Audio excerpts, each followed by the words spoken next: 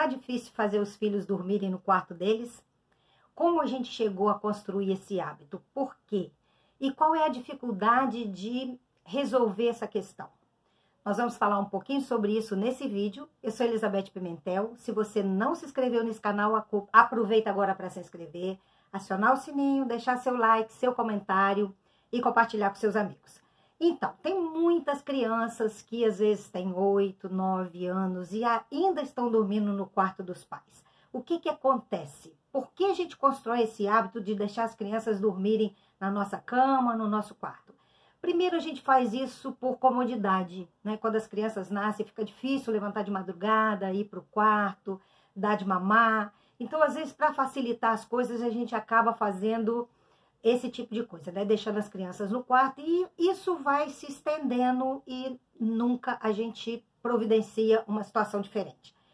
Outros motivos que fazem com que as crianças fiquem no quarto é a falta de tempo que a gente tem. E aí isso gera sentimento de culpa e para amenizar essa culpa, a gente acha que dormindo com eles, a gente recupera esse tempo perdido durante o dia. Isso não acontece porque as crianças precisam se relacionar com a gente. Enquanto está dormindo, não está construindo memórias, não tem relacionamento, né? Outro ponto que faz com que as crianças durmam no quarto são as dificuldades que o casal tem. Dificuldade de relacionamento, de conversar, de se enfrentar, né, de resolver suas questões e muitas vezes dificuldade na área sexual. E aí as crianças servem de barreira, né, de álibi para eles, para não encarar essa situação.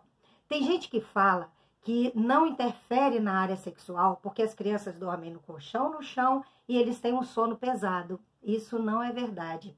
Eu já tratei de muitos adultos que trouxeram sentimento de culpa desde criança por causa de situações que viveram por dormir no quarto dos pais.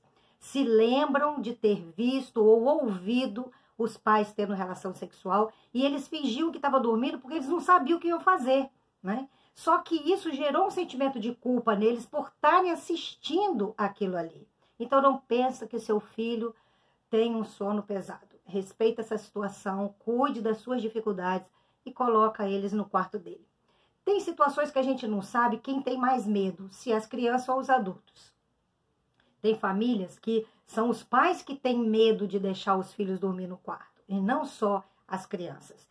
Tem, tem famílias onde os pais são muito mais dependentes dessa, é, dessa participação, dessa presença dos filhos do que os filhos dos pais. Acontece que isso tem consequências sérias e a gente precisa resolver isso.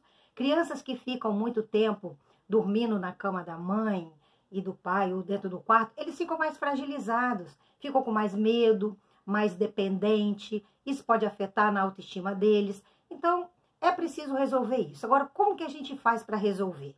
Olha, a gente cria um ambiente legal no quarto das crianças, que se pareçam com eles, para que eles se sintam a, num ambiente próprio, né? Que eles tenham vontade de estar ali. A gente condiciona um horário, porque criança precisa de limite. Tem mãe que fala assim: ah, meu filho gosta de dormir até um. ficar acordado até uma hora da manhã. Ele só dorme de madrugada. E aí a gente pergunta, mas por que ele dorme de madrugada? Porque ele não quer dormir mais cedo. Acontece que criança não pode fazer tudo que ela quer. A autoridade é do pai e da mãe.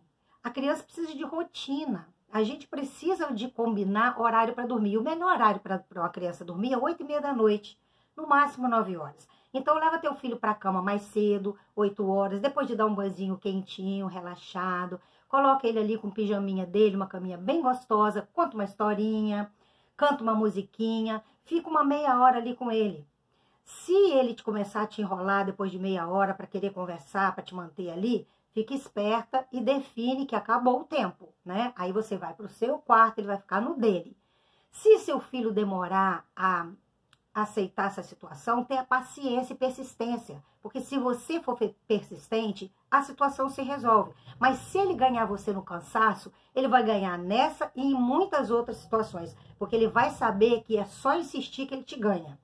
Se por acaso você conseguir fazer ele dormir no quarto dele, mas de madrugada ele sair para o seu quarto, resista a isso, pega de volta, leva para o quarto dele, fica mais um tempinho. Eu sei que vai dar trabalho, eu sei que você vai perder horas de sono, mas você vai resolver a situação. O importante é a gente não deixar isso ter consequências piores, ok? Nem sempre é fácil, mas é simples e a gente precisa estar disposto a fazer. Então, que Deus abençoe você e que você consiga colocar as coisas, cada uma no seu lugar. O seu quarto é do seu, da sua esposa, do seu, do seu marido, e o quarto das crianças são das crianças, tá bom? Deus abençoe você. Até o nosso próximo encontro.